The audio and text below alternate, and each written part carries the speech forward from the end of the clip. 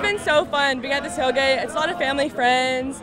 We all got together. People from all from Memphis and coming to Knoxville and just being able to like be together and have so much fun. It's been so good. I'm a freshman at Tennessee, so I've been really like gone to be here and just be with everyone. And the SEC tailgates, there's nothing like it. It's just, it's been so good. So like in the north, like, you're not getting like the Wampler sausage. You're not getting like the vibes. Like the SEC tailgate is just truly like no other. Yeah! Being with like so many people, meeting so many people that you didn't know, it's just so good. So home.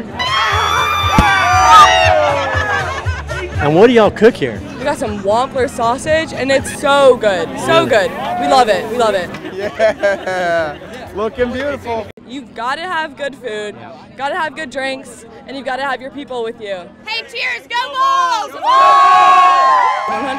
I'm gonna be looking forward to tailgating every single year.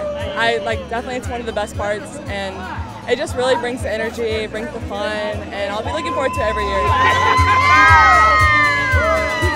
Chris Yates with Wampler's Ultimate Tailgater. We travel the nation to try and find tailgaters, but this time we found people that know the song. Wamplers, Wamplers, it's great sausage made on a farm in Tennessee. What are you? I'm Gracen Gunter, and I'm Wampler's Ultimate Tailgater!